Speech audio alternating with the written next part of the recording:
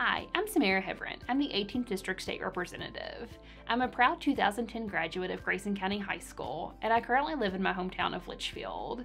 I'm also the proud dog mom of Rosie, who is a golden retriever.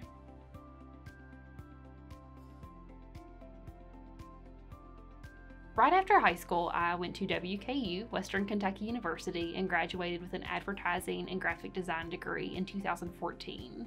Right after college, I ended up moving to Washington, D.C., where I received an internship with U.S. Congressman Brett Guthrie. He's our second district congressman, so he represents Grayson County. My last day of my internship, I got a job offer with U.S. Senator Rand Paul, where I became a staff assistant and I eventually was his scheduler for almost two years. I decided right after that I was ready to come home and serve my Commonwealth in a different way. I was ready to move back home to Kentucky, so I got a job with Kentucky State Treasurer Allison Ball, where I was her Director of Initiatives. I worked on all sorts of different projects, including transparency, financial literacy, stable Kentucky, and unclaimed property. So in September of 2019, I got notice that our 18th District State Representative had resigned from his position.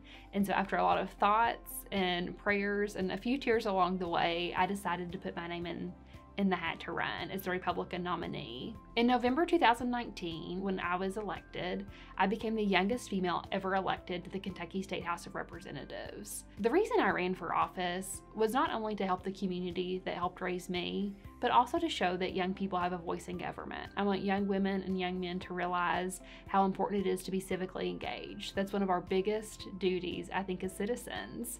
And so I hope that as, in my time here as the 18th District State Representative, I'm able to show that civility and kindness matter when you're a government official.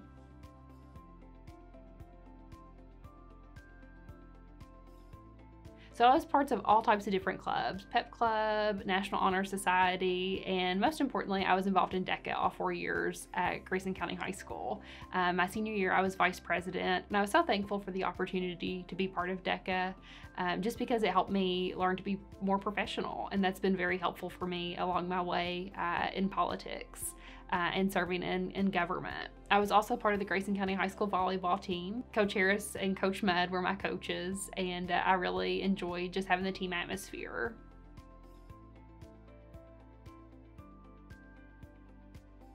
One of my favorite memories of my time at GCHS was my junior year of high school when the boys basketball team made it to the Kentucky State Tournament. It was such a fun time being able to be with all my classmates and cheering on the guys while they played at Rupp Arena.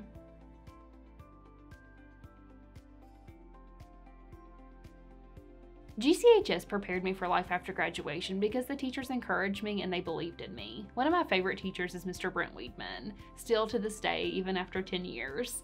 And I remember he sat down with me one day and told me that I needed to start applying myself. And it was so true because I was always just did things to kind of get by. Although I was a good student, um, I didn't know how to study and I didn't know how to apply myself. And that conversation has always stuck with me because in, in times when I don't feel like I'm able to apply myself, I'm reminded that Mr. Weedman's there trying to encourage me still.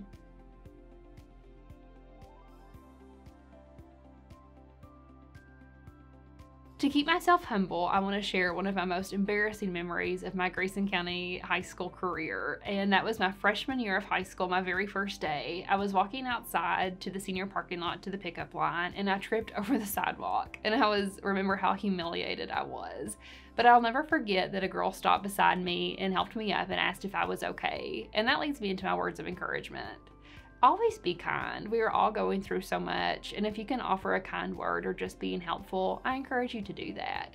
But also, let being from Leitchfield only empower you to do great things. There are so many people all over the world making a difference from Leitchfield. And I just want to encourage you to be that type of person. Go out there and make your mark, but don't forget where you came from.